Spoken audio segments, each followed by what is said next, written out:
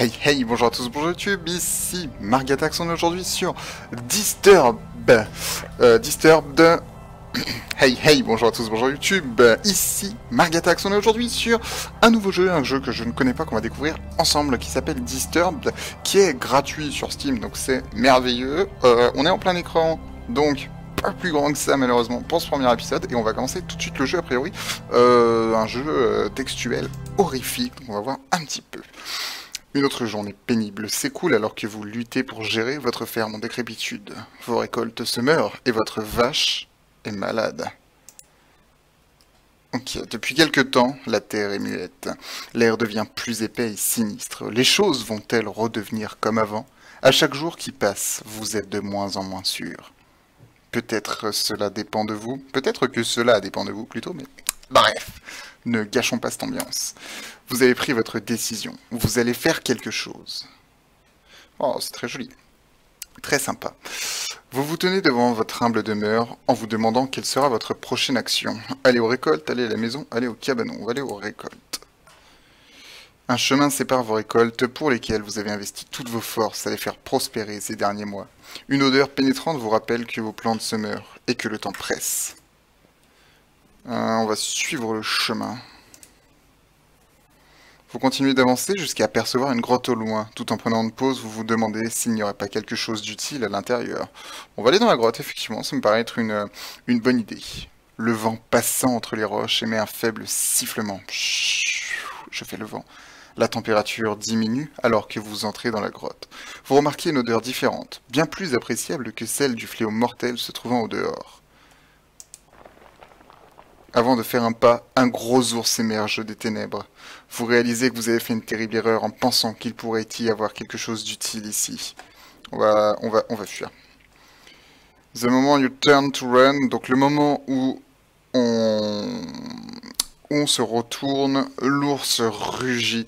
Euh, tac tac tac, you can think about his making back home in what tout ce que je pense, en gros, l'ours nous attaque et tout ce qu'on pense, c'est de rentrer à la maison. Vous arrivez à sortir de la grotte, mais l'ours vous rattrape, vous plaquant au sol. Vous hurlez de douleur pendant que l'ours vous met en pièces. Votre aventure s'achève ici. Ok, les gars Ok On va faire autrement, du coup. Allez, c'est parti, on connaît le début. Euh, waouh On s'est fait éclater. On va aller à la maison, du coup.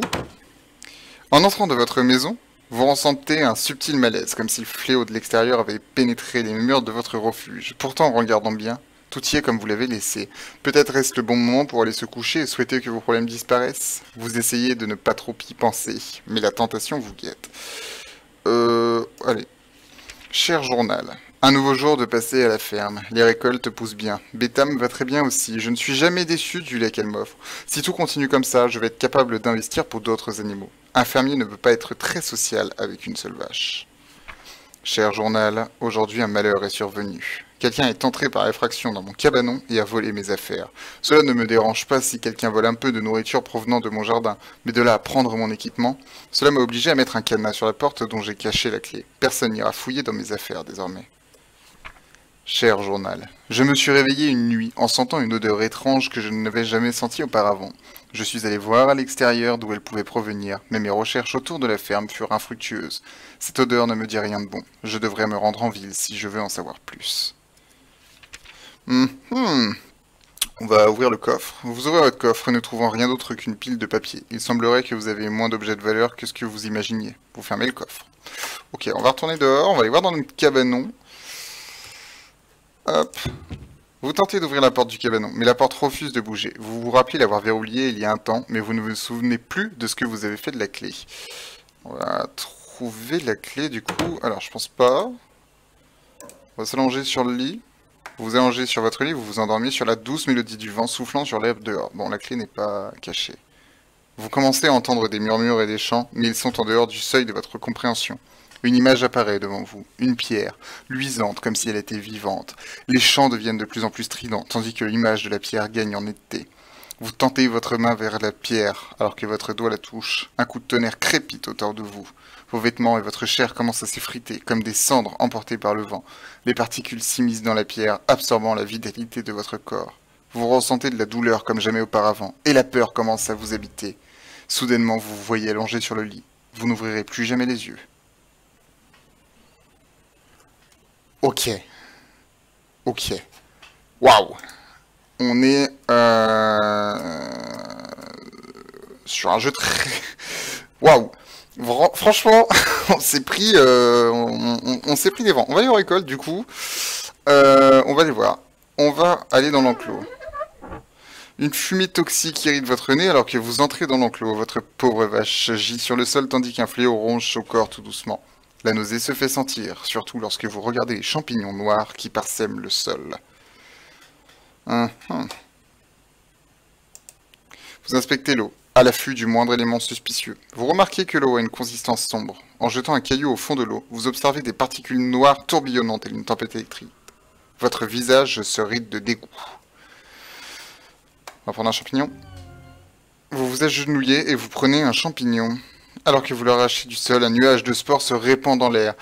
Dès que vous vous mettez à les observer, vos mains prennent feu et fondent. Votre corps se raidit lentement, prenant une consistance sombre et humide pendant que le poison se propage. Après avoir rampé sur le sol, vous finissez par mourir.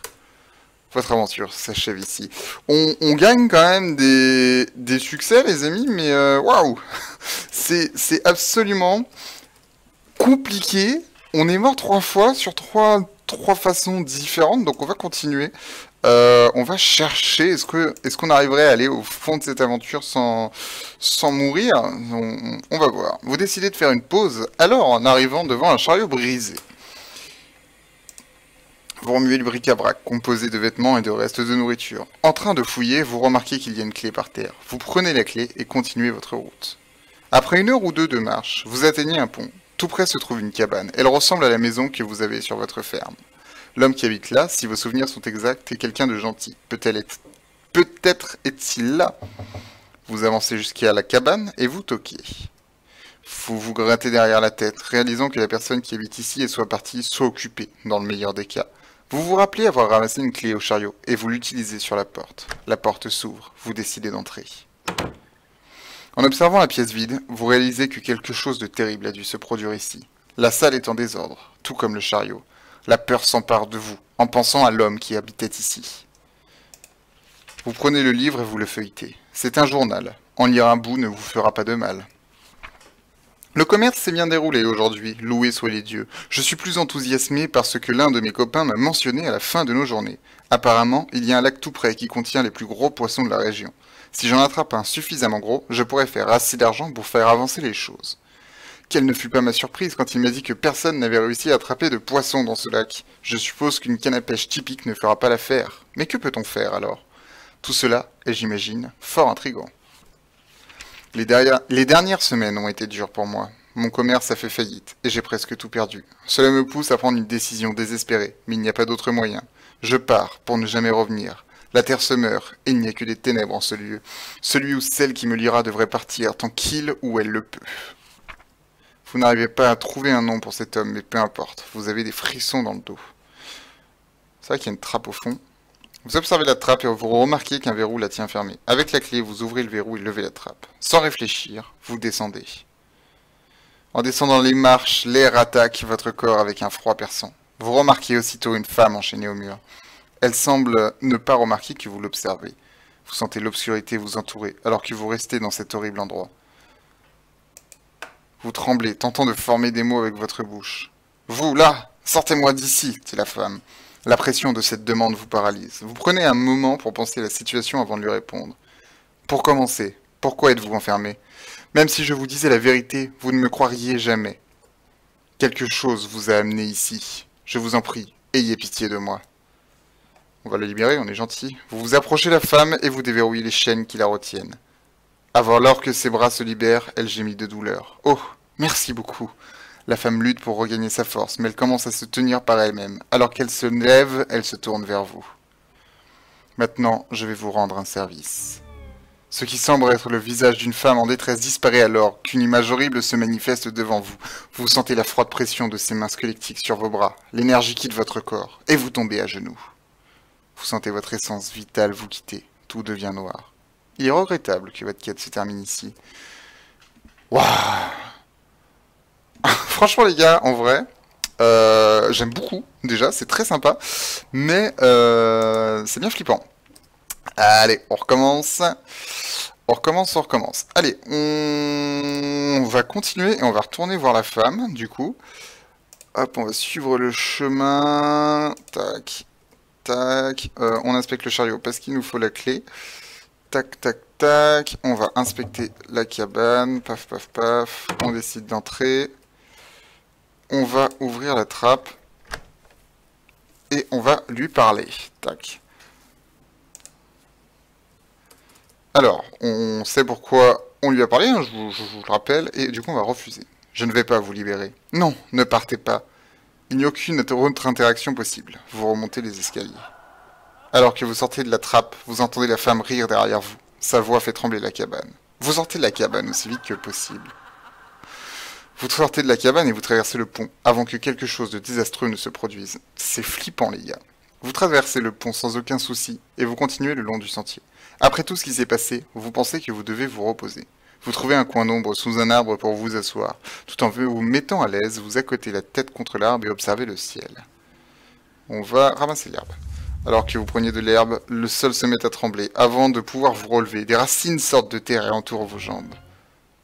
Vous vous retournez, vous voyez un visage en colère. Votre mâchoire se disloque sur le coup de la terreur. Aucun cri ou aucun son n'échappe de votre langue pendant que les racines compriment votre cage thoracique, vous étouffant.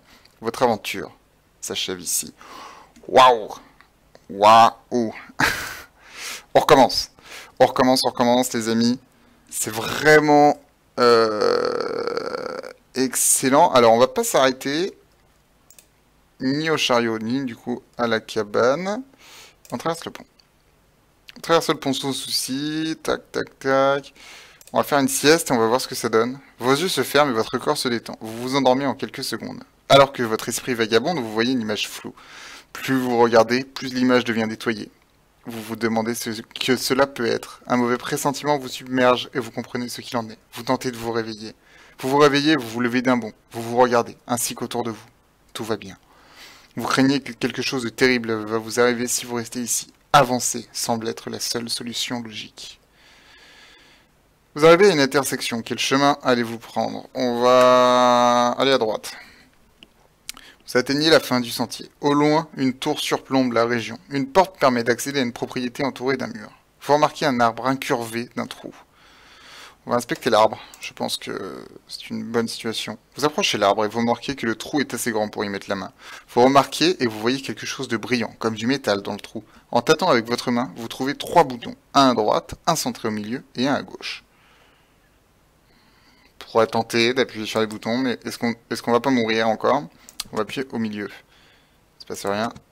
Il se passe rien. Et à droite, les boutons restent enfoncés. Vous attendez un moment, mais rien ne se passe. Cela doit être une sorte de combinaison. Hum, on reviendra. Hop, on va aller à la porte, du coup. On va aller voir. Vous vous rapprochez de la porte avec prudence. Vous commencez à vous sentir mal en approchant de la tour. Il n'y a aucun doute possible. C'est de cet endroit qu'est née la source du mal. Devant vous, il y a une fontaine avec des statues à votre gauche et à votre droite. Ok. Il y a une brune sombre autour de la fontaine. L'eau est noire et l'odeur brûle avec chaque respiration. Vous vous sentez légèrement attiré vers la fontaine, comme si elle vous appelait.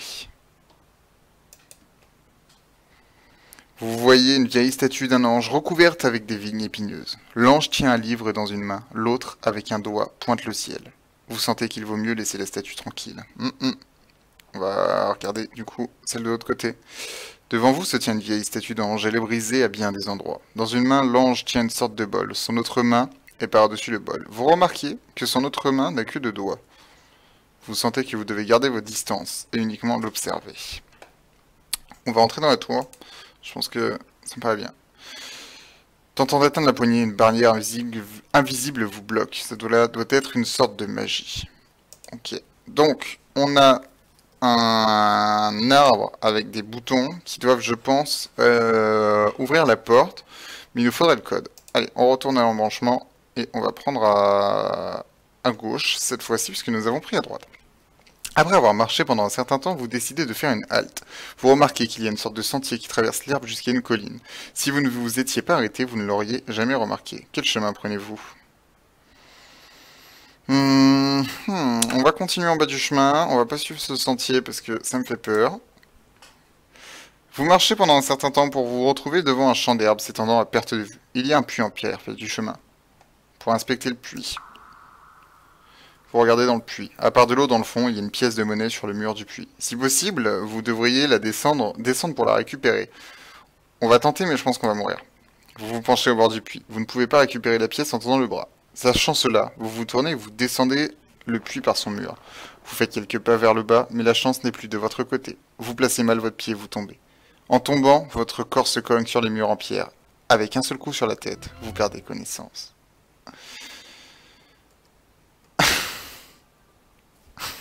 Je m'en doutais, les amis. Les amis, je m'en doutais. On recommence. Une nouvelle fois, certainement la dernière fois. Euh, alors, là, on sait ce qui se On va euh, continuer, continuer. Traverser le pont. Là, faut faire la sieste. Hop.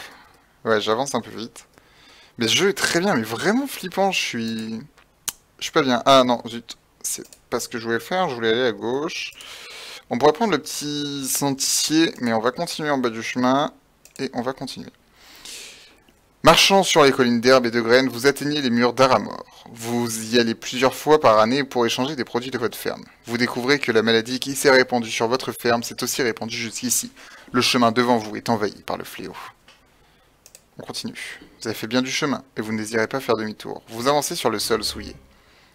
Avant de réaliser ce qui se passe, vous vous enfoncez dans le sol malade. Les ténèbres vous consument et vos poumons luttent pour trouver de l'air. Votre corps brûle de douleur et suffocant. Vous finissez par mourir. Votre aventure s'achève ici. Allez, une dernière fois. Une dernière fois, les amis. Euh, sur le petit chemin, du coup, euh, qui traverse les collines, vous savez, à gauche, à l'intersection. Tac. Tac. On traverse le pont. Ah, c'est vraiment, euh, vraiment flippant. Alors là, on va à gauche. Et on va suivre le sentier dans les herbes. En suivant le sentier dans les herbes, vous tombez sur ce qui semble être une pierre tombale. On va l'inspecter. Vous approchez la pierre tombale et vous regardez l'épée avec curiosité. Avant que vous ne puissiez toucher l'épée, une figure fantomatique apparaît devant vous. Vous restez de glace devant l'apparition. Puis-je avoir cette épée? C'est nous qui demandons ça. Cette lame est maudite. Je suis prisonnier ici par la douleur de mon passé. Si vous désirez cette épée, alors libérez-moi d'elle. Vous bougez lentement vers l'épée. Imbécile Seule une naissance pure peut me libérer. Une rare espoir, telle une fleur trouvée dans les ténèbres. On va s'éloigner de l'épée. Et on va continuer. Ouais, parce que du coup, est-ce qu'on est pur? Je crois pas. Faites une pause. Un lac se distingue sur votre gauche. Le sentier continue sur votre droite. Ça doit être le lac plein de poissons. On va aller inspecter le lac. Vous vous arrêterez près du lac et vous le regardez. Sous l'eau, au plus profond du lac, se trouve un orbe. Cet orbe est étrange, on dirait qu'il vous appelle. Est-ce qu'on meurt ou pas? Non, on va pas mourir, ce n'est pas le bon moment. On ira plus tard. On va continuer dans le sentier.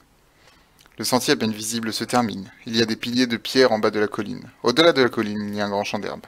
On va inspecter les piliers de pierre qui doivent... Voilà, c'est ça sur la droite. Vous vous tenez devant les larges pierres arrangées en cercle. Au centre se trouve une pierre avec ce qui semble être une fente ou un trou. Aucun doute possible, il faut placer quelque chose ici. Ça doit être l'épée. Donc, on va aller euh, chercher l'épée. Et on va essayer de la mettre. Euh, on va inspecter... Alors, attendez. C'est une naissance pure. Euh, on continue. Ah je peux pas... Alors, attendez, attendez, on revient. Inspecter. Regardant l'épée, vous vous souvenez des dernières paroles du fantôme. Seule une essence pure peut me libérer, un rare espoir tel une fleur trouvée dans les ténèbres. D'accord, donc il faut que je trouve une fleur pour pouvoir mettre l'épée. Donc on continue. Ok, et on va explorer le champ. Vous observez un champ d'herbe avec les collines au loin.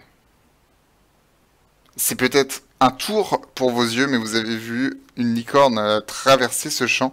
Elle a disparu avant que vous ne puissiez faire quelque chose. Les pouvoirs uniques d'une licorne peuvent vous aider dans votre quête, mais quelque chose cloche. Si seulement vous pouviez la charmer. Si seulement nous pouvions la charmer. Donc il manquerait une sorte de flûte.